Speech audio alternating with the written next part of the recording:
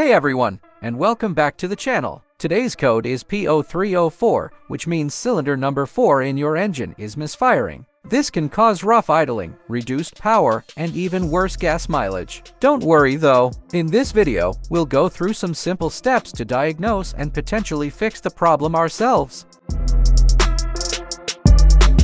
A misfire happens when the air-fuel mixture in a cylinder doesn't ignite properly. There are several reasons this might occur, but we'll focus on the most common culprits, spark plugs, ignition coils, and vacuum leaks.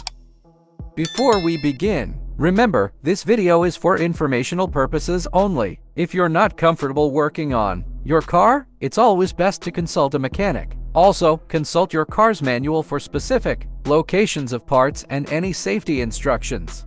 Tools you'll need. Basic socket wrench set. Spark plug gapping tool optional. Replacement spark plugs check your owner's manual for the right type. Screwdriver optional. Flashlight.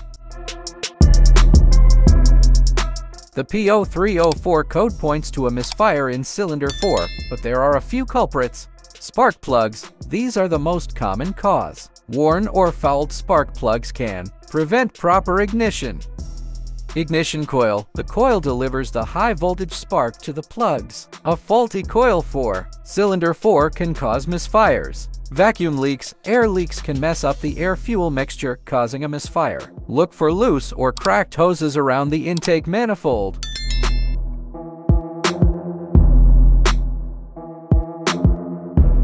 Locate your spark plugs. They'll be screwed into the engine block, usually with wires or coil packs on top. Consult your manual for cylinder for ease location. Disconnect the battery for safety. Remove the spark plug wire or coil pack from cylinder 4. Use a spark plug wrench to remove the spark plug itself. Inspect the spark plug. Look for cracks, excessive wear, or fouling dark buildup. Gap the spark plug if necessary using a gapping tool. Refer to your manual for the correct gap. Replace the spark plug with a new one following the manufacturer's recommendations. Repeat steps 3-7 for all spark plugs. It's best to replace them all at once since they wear together.